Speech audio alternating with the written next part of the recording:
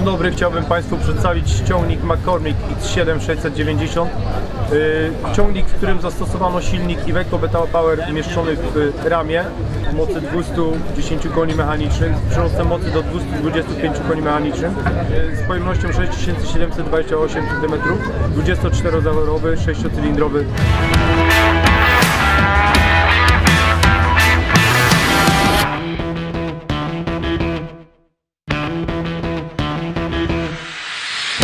Skrzynia biegów, jaka jest zastosowana w tym ciągniku jest skrzynia ZF-a P6 Drive bądź też bezstopniowa VT Drive.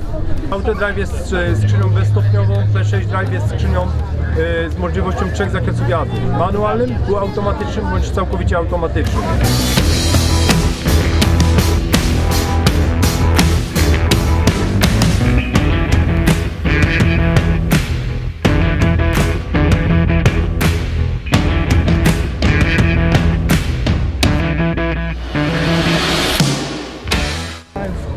Prezentowany model ciągnika ma zastosowaną przednią oś amortyzowaną na niezależnych wahaczach.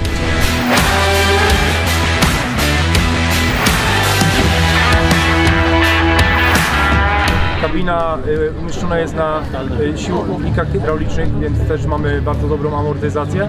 Jeżeli zaś chodzi o udźwig tylniego podnośnika, to maksymalnie 9300 kg.